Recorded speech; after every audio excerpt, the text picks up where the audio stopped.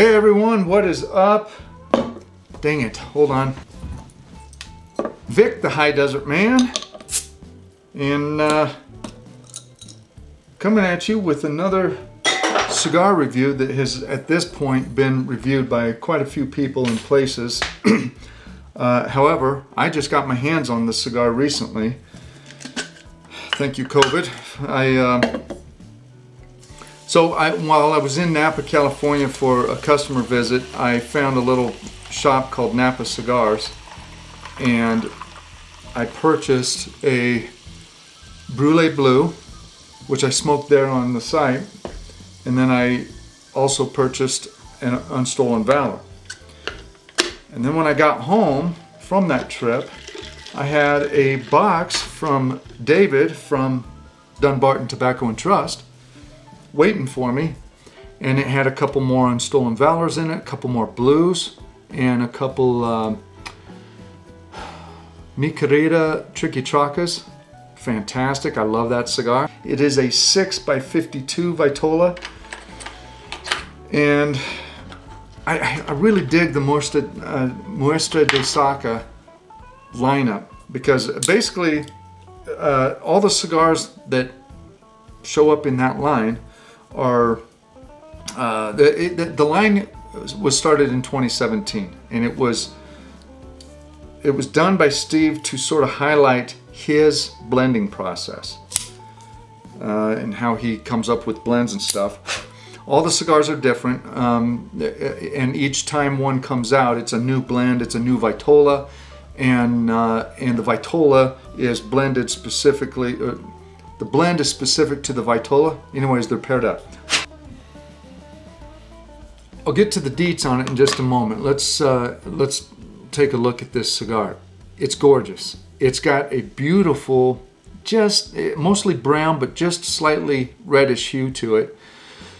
The it's just a nice looking blend. It is wrapped really, really well. And it, uh, I just cut the cap off, but it looks to me Looks like it was possibly a, just a double cap.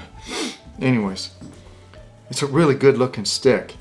It is a uh, fairly firm stick. Draws a little tight. Let's see where we're at on the Cigar Medics here. Holy crap, I'm at 73. Well, I I can't smoke this cigar. I'm gonna have to let it sit. That's part of the reason why it's so tight. Okay, so this cigar does come in a coffin as I think pretty much all the, yeah, all the Muestra de Sakas have come in a coffin. Let's see where we're at on this one. All right, this one's at 69%.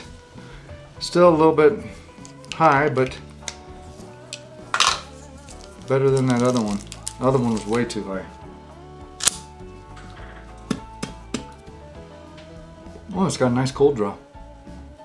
A little bit of uh, dry cracker toast flavor. Some chocolate.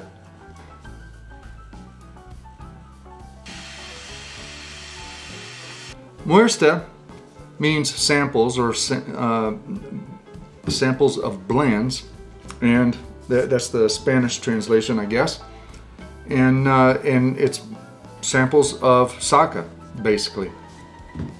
Uh, typically, I believe they're blended by Steve Saka, but this one was not done by Steve Saka. This one was blended by Raul Disla, or Disla, uh, who is the production manager of Nicaraguan American Cigars SA, which is where the cigar was produced.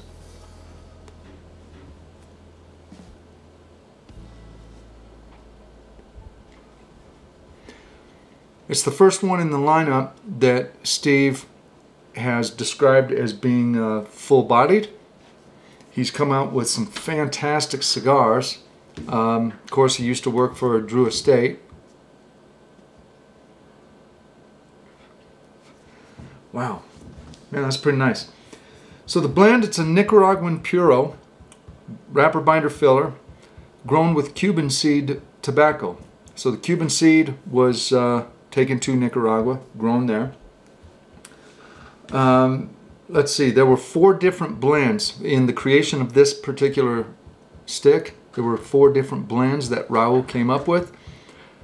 Raul and Steve smoked those blends. They disagreed on which one they liked the most. Guess who won? This is the blend that Steve liked the most. It's got a great retrohale. Pretty smooth, little bit, just a little bit of bite in the nose. It's nice. Um, the cigar originally was going to be called Stolen Valor. He changed it to Unstolen Valor because because he gave credit to Raul for blending the cigar. So he felt that it was fitting to change the name of the cigar.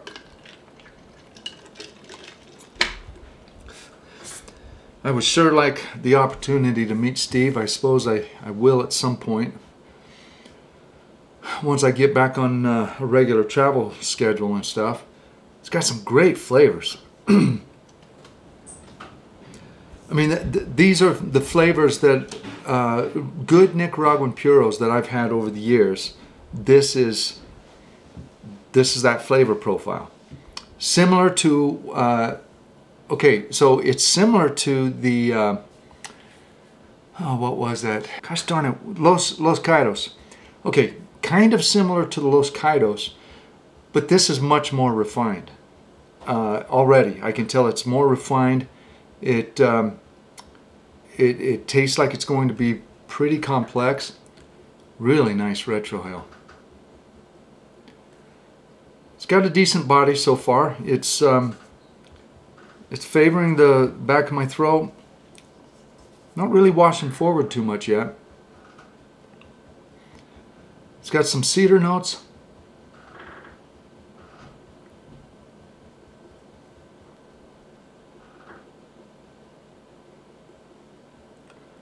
All right, I'm going to smoke on it for a while. We'll come back in a little while and uh, talk about it. I don't know if I'll come back at the half or uh, just smoke it down and take my notes and catch you guys at the end, but uh, We'll catch you in a little bit. Stick around.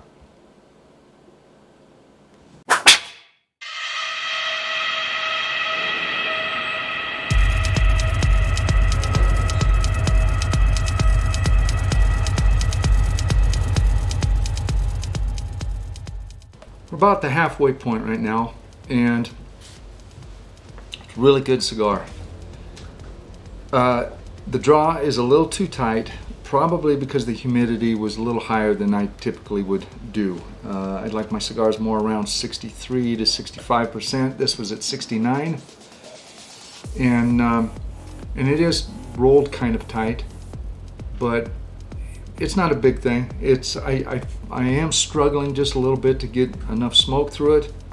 It's really good, although it's sort of unidimensional hasn't really changed a whole lot. I'm, I'm, getting the same amount of spice in the nose. I'm getting the same cedar and, and woody notes. Uh, I feel like I'm getting a little bit of cinnamon now and a little bit of espresso. The espresso is really mild and it's really blended in with everything else, but it is there. It's very smooth in the retrohale. The body, I would not say this is full body. It is, to me, it's medium might be leaning into medium full, but uh, I'm pretty much putting it at medium. Construction is fantastic. It's burning great. Haven't had any issues with the burn. The flavors are just really nice. Even though it's sort of unidimensional, it's very consistent in the flavors. And uh, yeah, so I'm going to continue on. We'll catch you at the end of the cigar, guys. Dunbarton Tobacco and Trust, Muerte de, Muerte de Saka, Unstolen Valor. It was a good stick. lasted a long time. I didn't time it, but but it lasted a long time. So uh, that was pretty nice. The, flavor you get through the whole cigar primarily is a cedar, maybe a little bit of oak mix, and um, in the pepper. It's got a little bit of leather notes. The espresso is the espresso flavor is interesting because it's it's somewhere between uh, it's somewhere between my Tanzanian pea berry, which is a a fruity sort of bold uh, uh, kind of bold, fruitier uh, espresso. I'm spacing it right now from Lost Dutchman Coffee, the other uh, the uh, Jacob's Dynamite Check, which tends to have woodier, smokier notes. Um, so it was kind of a mix between that, but had some of that espresso uh, sort of essence to it. Body is medium on it. It's it has picked up in this last uh, third here. It, it, has definitely picked up, but still just medium strength, medium. Um, flavors are just very consistent.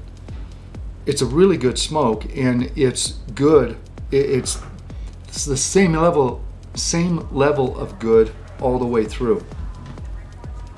So it's been pretty nice. Now, flavor-wise, it did lack just a little bit for me in um, I don't know the, the the flavor profile is nice but uh, given my druthers I'd rather have uh, something a little bit bolder a little bit heavier. So construction was a five. The construction of this cigar is beautiful. It stands out. Um, I mean there's a lot of really well constructed cigars out there but every once in a while you get a cigar that just seems somehow to be constructed nicer. And that's what this one was. Burn was a five, burned good the whole time.